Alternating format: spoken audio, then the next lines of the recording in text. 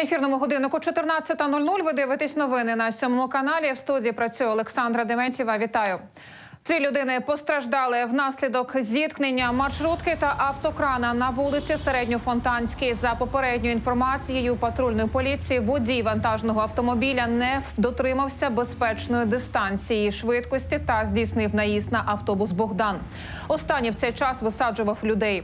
Внаслідок аварії два пасажири отримали травми та потрапили до лікарні. Ще одна жінка від госпіталізації відмовилась. Оба пациента стабильные, средней степени тяжести, с ушибленными ранами головы, раны обработаны, ушиты. На данный момент э, один пациент э, находится на дополнительном обследовании на компьютерной томографии э, для того, чтобы определить тактику дальнейшего лечения. Второй пациент в амбулат- ушел на амбулаторное лечение.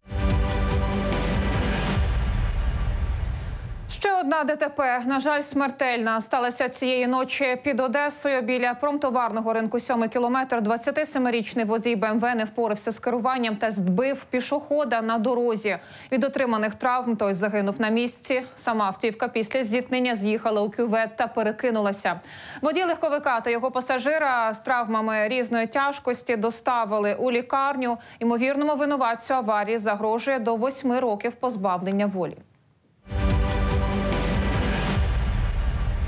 Вибори ректора Національного медичного університету розпочалися з конфлікту. Відразу кільком знімальним групам відмовили в проході до університету, апелюючи відсутністю акредитації.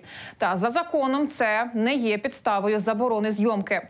Нашим журналістам довелося звертатися із заявою до поліції, та і це не допомогло. Фактично, ви зараз е, порушуєте статтю 171 кримінального кодексу. Перешкоджаєте у нас є розпорядження. Розпорядження вище закону. Що розпорядження? Ваше розпорядження вище закону Не України. вище закону, просто не офіційно. Ваше розпорядження неофіційне Извините, пожалуйста, а что вы хотели? Хочемо пройти на вибори до А вы не можете. А У нас э, чему? А вы кто? аккредитация, которая у А нас кто вы? закончилась в Представьтесь, пятницу. будь ласка. Я э, помощник ректора по информационной части. Свавілля на виборах ректора Одеського національного медичного університету не новинка. Нагадаю, вони б мали відбутися ще у 2018 році та були відкладені на невизначений термін через конфлікт тодішньої очільниці Міністерства охорони здоров'я Ульяни Супрун та екс-ректора університету Валерія Запорожана. Супрун звільнила тодішнього керівника медіну. Той за допомогою судів оскаржив таке рішення. Тепер, коли вибори нарешті призначили та навіть прийнялись проводити, туди не допускають змі під приводом відсутності акредитації, хоча за законом її і не потрібно. Фактично ж камери можуть фіксувати серйозні порушення, як от таке фотозвіт про голосування.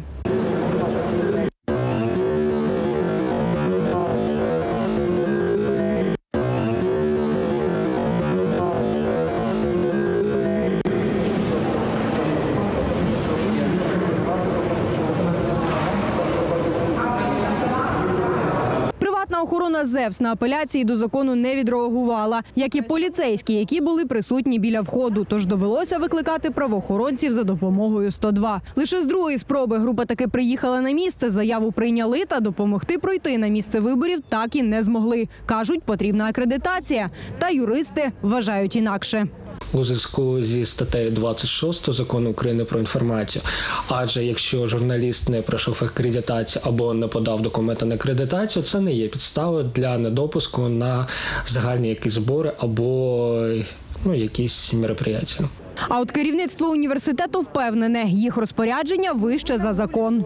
Півтора місяця тому на сайті Національного медичного університету було розміщено положення про акредитацію, в тому числі і засобів СМІ.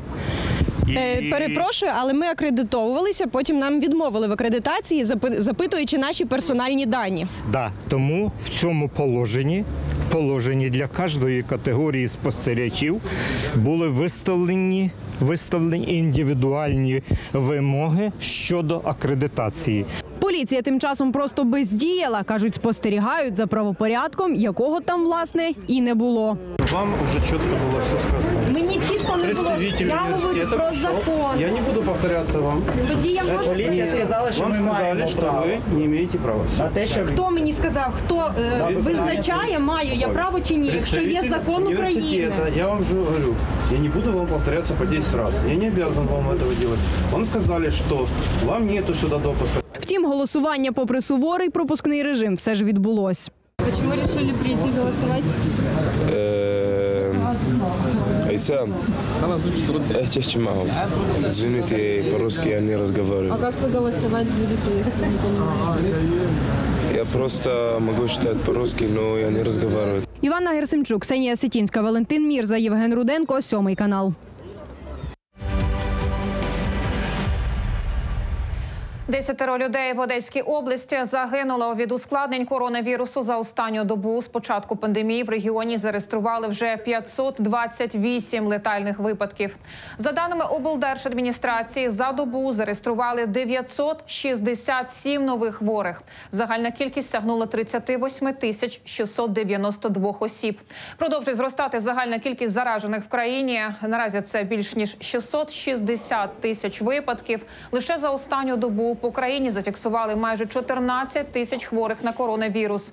За весь цей час від хвороби загинуло понад 11 тисяч людей. У міністерстві охорони здоров'я продовжують розробляти нові рішення з питань протидії коронавірусу. Серед них і так звана медична цифровізація. Станом на зараз ми опрацьовуємо інструменти для координації госпіталізації, оптимізації звітності закладів охорони здоров'я, щоб їх все таки зменшити і витрачати час не на звітність, а на більшу допомогу нашим громадянам. Е, Цифровізація е, обліку та реєстрації підозрілих та підтверджених випадків COVID-19. Одеса приєдналася до всесвітньої акції «16 днів проти насильства. За статистикою, кожна п'ята жінка в Одесі стикається з домашнім насильством, але не кожна готова розповісти про це. Кожен четвертий українець вважає, що насильство можна виправдати, а кожен десятий взагалі не вважає це проблемою. За 10 місяців, за інформацією поліції, в Одесі зафіксовано 6905 звернень про вчинення домашнього насильства. В області їх кількість перевищила 16 тисяч. У порівнянні з минулим роком статистика виросла на 51%.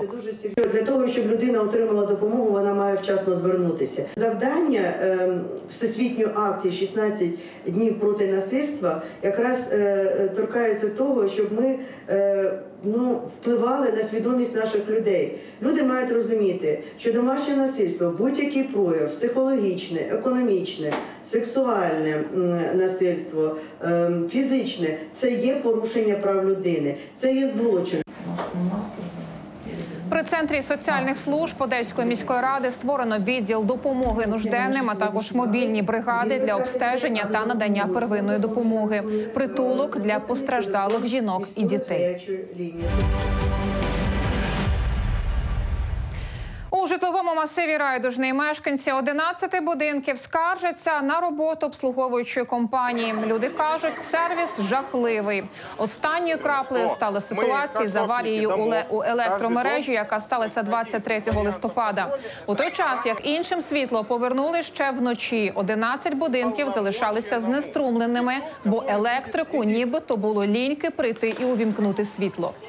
У нас на электричестве все. Это и вода, отопление, ну и, собственно, даже воды греть нельзя нигде. А Вот. И очень много... Это счастье, что никто не пострадал. Э, Были застрявшие в лифтах, тоже знаю, что больше часа пытались их достать. С диспетчерской службы у нас тоже немножко большой напряг в работе. столкнулись с достаточно э, недобросовестной, некачественной работой жилищно-коммунального сервиса. Э, ну и, соответственно, накипело. Потому что ну, это последняя капля. Само отношение ЖЭКа к жильцам, само отношение к решению проблем, э, оно достаточно м, носит э, такой э, проблемный характер. Э, Невозможно ничего нормально добиться, доказать, попросить. Все нужно через скандал, все нужно через групповые какие-то приходы. Люди вимагають зміни обслуговуючої компанії.